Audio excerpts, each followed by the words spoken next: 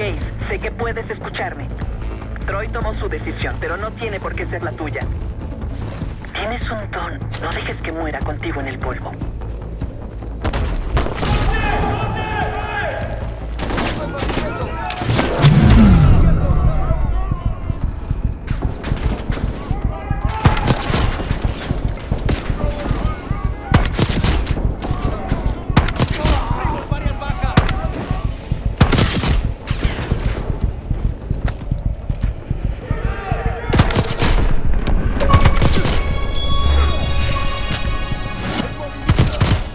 No podemos cambiar este final.